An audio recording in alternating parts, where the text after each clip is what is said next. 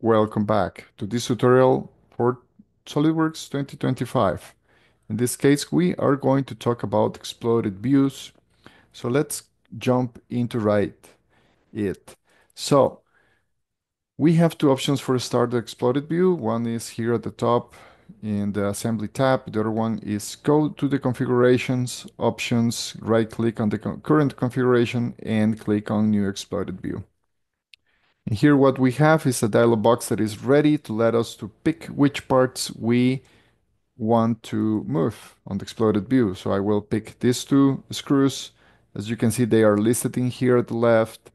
And I will uh, pick the Z axis and move it. So this uh, number that actually is just a random number, well, a number that is not precise, um, like uh, 38, for example. I can just uh, retype it in here after releasing the mouse click. I will pick on the uh, screen.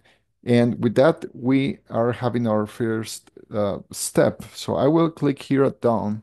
With that, I will have a first exploded view here in the uh, section for explode steps. So I will pick one more I will pick these three components. I will drag again the thing. Okay.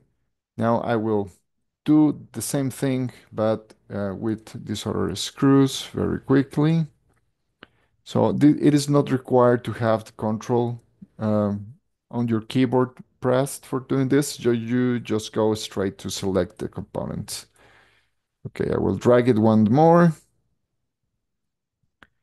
And now that uh, we have all these guys selected, we can uh, check, for example, here at OK, and that's going to take, take us out of the uh, editing of the explode view. Okay, so I'm out of explode view, but now I want to continue adding things. So expanding this model tree that we have on the configurations, we're going to see the different exploded views that we have done. As you can see, I'm picking one of them and I'm having an arrow that right now gives me access to, uh, on a more precise way, to move them uh, in the space. So if I want to add more, I need to right click here at exploded view and click add edit feature. So I will add one more let me pick these components and I will add this plate and now I'm going to drag it. Okay, cool. Now I'm going to just click here at done, but I can continue after clicking down, I can continue mm, adding stuff, right?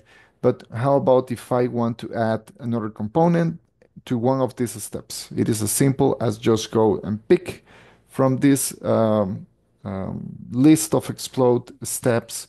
And I just, what I just need to do is to add uh, the component to the list. So for example, let's say, I don't know if this makes sense much. Oh, yeah, okay, so let's add this pin. All right. So it is in there. And if I want to remove it as well, of course, I can just uh, edit the step. And uh, by picking the part, it's good enough. Yeah, that's good enough for remove it. So one more tip in here, because this is about to document our assemblies, right? So let's uh, learn how to make a precise view for your exploded views in drawings. I always like to see vertical lines aligned, uh, not having kind of uh, this choppy uh, line at the edge. I prefer to have something that looks sharp. So I will click, uh, uh, sorry, uh, go to the, my views by uh, hitting the spacebar.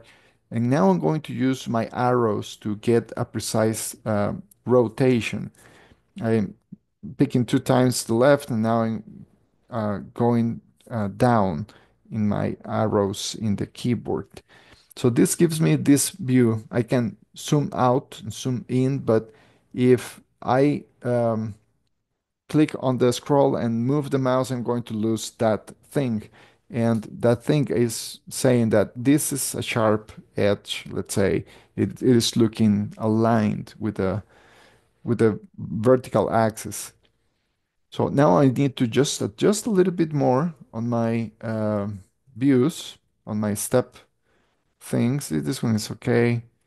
This other one, it's a little bit higher, maybe, yeah, for to not have the screw over the, the plate.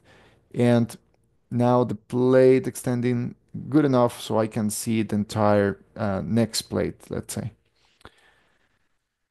After doing that, what I need to do is to jump into the view orientations that I have in here. And now I'm going to click in this option for new view. It is going to be called, uh, in this case, let's say exploded two.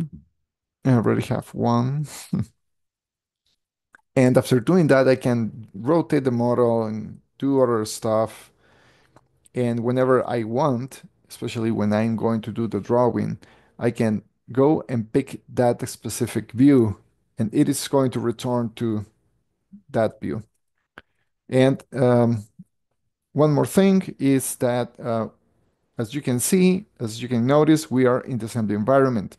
If we don't want, uh, let's say, to be on explode mode, we just need to double click the exploded view here in the model tree and we are back to the assembly um, collapse, the, the collapse version, let's say, or the original version. And now if I wanted to turn it on, I just double click it and I get my exploded view as expected.